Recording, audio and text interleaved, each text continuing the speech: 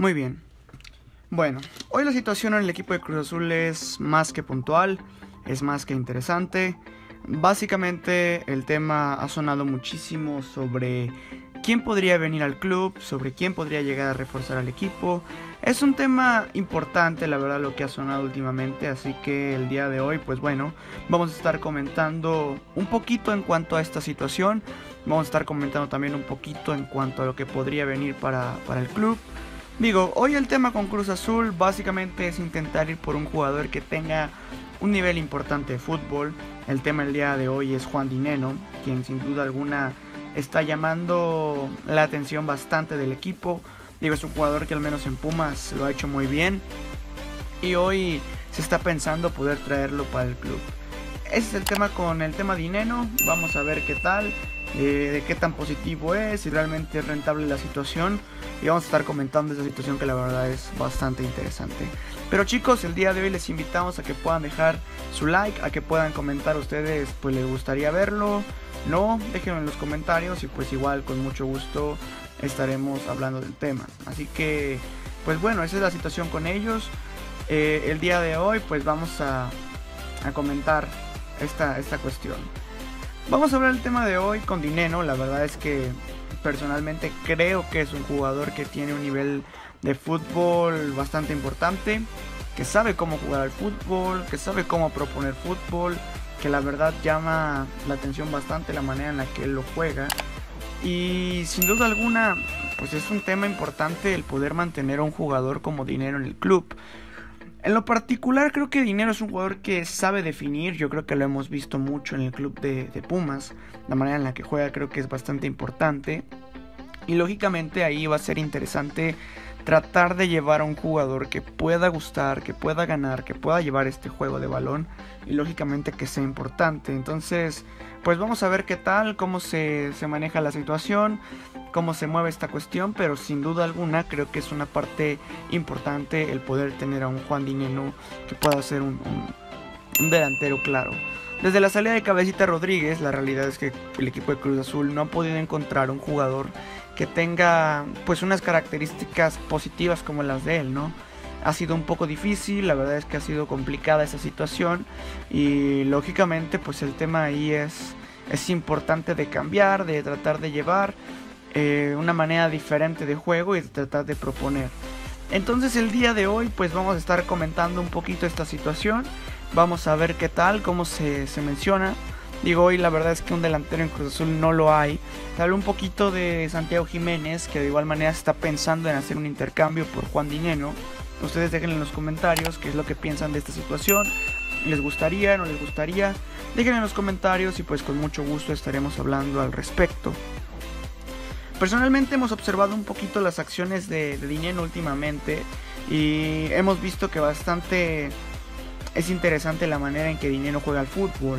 Digo, Juan Dinero es un jugador que le gusta ir al frente, le gusta atacar, va bien por cabeza, va bien por aire y ahí empieza a sonar un poco su tema sobre si podría llegar a, ser parte importante. Entonces, llama la atención el día de hoy.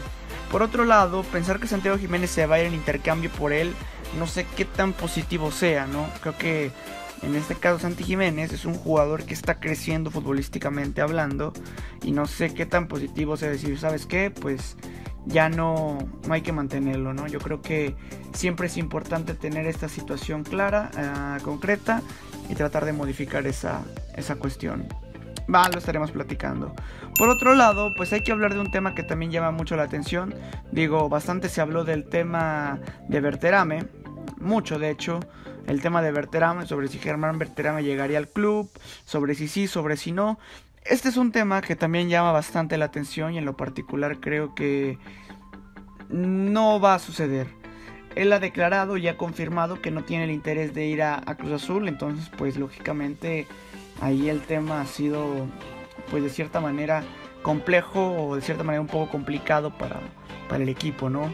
Básicamente se dice que pues el equipo de Cruz Azul estaría interesado en llevarlo, eso es correcto, pero sin embargo, pues Berterame no está del todo. O sea, él dice, ¿sabes qué? Pues sí me interesa, pero pues no, no del todo de poder llegar al club.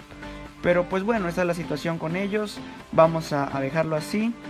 Digo, tristemente la situación, pero pues ojalá que pueda haber otra, otra cuestión en, en esa ocasión. Pero esta es la situación al menos para el equipo.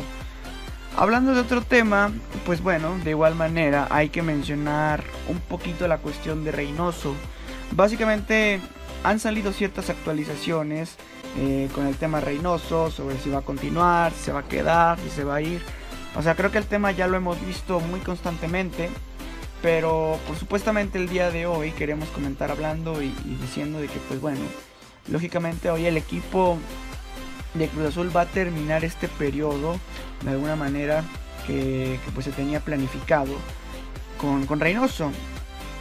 Reynoso pues es un técnico que de cierta manera se dice que ha bajado su ritmo, que no ha gustado, que no ha llamado la atención como anteriormente, entonces pues ahí el tema es un poquito a, a, preocupar. Así que ahí suena un poquito el tema de Reynoso, que si se va a ir, que si se queda, quién puede ser su recambio. Hoy ha salido una cierta actualización en la cuestión de, del recambio que creo que es bastante importante. Y se habla un poco en concreto del Tuca Ferretti. A muchos les gusta, a muchos otros no. Yo reitero, dejen en los comentarios qué es lo que piensan ustedes de esta situación. ¿Creen que pues Tuca Ferretti sea un buen técnico para el equipo? ¿Creen que no? A mí en lo particular no quiero hablar mal de Tuca ni decirlo, pero creo que no viene de una buena racha. Y creo que como director técnico siempre es importante tener pues un buen, un buen juego de fútbol, una buena planificación. Eh, lógicamente que, que, haya un buen nivel en el equipo y hoy ese es el tema con ellos. Esa es la cuestión, vamos a verlo, ojalá que, que pueda haber una situación pues positiva para, para el club, que realmente el club pueda salir adelante y pueda seguir creciendo pues futbolísticamente hablando. Tuca Ferretti me parece que tiene una idea de fútbol interesante, pero creo actualmente que el momento que lleva o, la situación que tiene no es la más indicada para mantener a, un jugador. Entonces, pues esa es la situación que al menos hoy preocupa en el club, es la situación que al menos eh, nos tiene así con esta cuestión, pero ya estaremos platicando qué es lo que pasa, cómo sucede y cómo pues, va a cambiar esta cuestión. Pero vamos a seguir hablando del tema. Dentro de todo, pues hay que seguir hablando del equipo de, Cruz Azul. Ojalá que vaya bien todo para, para, la liga. Vamos a ver qué tal. Y, ojalá que, que, pueda haber un recambio ahí en esa situación. Desear lo mejor chicos. Ojalá que pueda haber una parte importante y un, un cambio interesante, ¿no? Esta es la situación con el club, pues estaremos platicando más adelante de lo que venga. Y pues nos vemos igual también en otra situación. Gracias por todo chicos, nos vemos y hasta luego. Que la pasen muy bien. Chao, chao.